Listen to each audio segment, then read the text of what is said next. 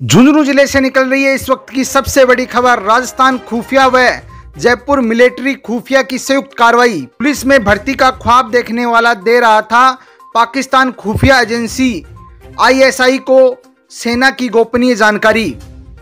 राजस्थान खुफिया व जयपुर मिलिट्री खुफिया ने संयुक्त कार्रवाई करते हुए पाकिस्तान खुफिया एजेंसी आईएसआई को सेना की गोपनीय जानकारी देने के मामले में एक संदिग्ध युवक को झुंझुनू ज़िले के नरड़ कस्बे से गिरफ़्तार किया है।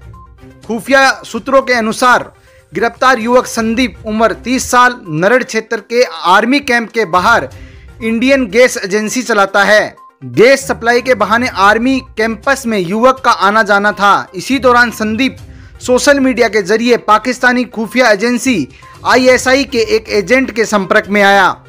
और कुछ छोटी मोटी सूचनाएँ उस महिला एजेंट को देने लगा। राजस्थान खुफिया और मिलिट्री खुफिया के रडार पर जब संदीप का सोशल मीडिया अकाउंट आया तो उस पर निगाहें रखी जाने लगी। उसके बाद जब खुफिया का शक पुख्ता हो गया तो संदिग्ध जासूस संदीप को तो 12 सितंबर को झुंझुनू के नरड़ कस्बे से गिरफ़्तार कर लिया गया और जयपुर पूछताछ के लिए लाया गया। सब इंस्पेक्टर की देने वाला था परीक्षा, उससे पहले चढ़ा। खुफिया के हत्ते। पुलिस में भर्ती होने का ख्वाब देखने वाला गिरफ़्तार संदिग्ध, जासूस संदीप, सब इंस्पेक्टर की परीक्षा देने की तैयारी कर रहा था। हाल ही में हुई परीक्षा में बैठने वाला भी था, लेकिन उससे पहले वह 12 सितंबर को खुफिया के हत्या चढ़ गया। आरोपी के आईफोन और सोशल मीडिया अकाउंट को खुफिया टीम चेक कर रही है। खुफिया द्वारा पूछताछ करने पर कई चौंकाने वाली जानकारी सामने आई है। फ़िलहाल अभी उनका खुलासा खुफिया की तरफ़ से नहीं किया गया है। खुफिया ने संदीप का आईफोन सेवन मोबाइल जब्त किया है और उससे पूछताछ की जा रही है।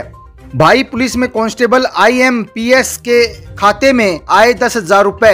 सूत्रों से मिली जानकारी के अनुसार, जासूस संदीप का भाई राजस्थान पुलिस में कांस्टेबल के पद पर कार्यरत है और जयपुर में ड्राइवर के पद पर पोस्टेड है। संदिग्ध जासूस संदीप के खाते को चेक किया गया तो उसमें दस हज़ार रुपए आईएमपीएस के ज़रिए ट्रांसफ़र किए गए थे, जिसका संतोषजनक जवाब संदीप नहीं दे पाया।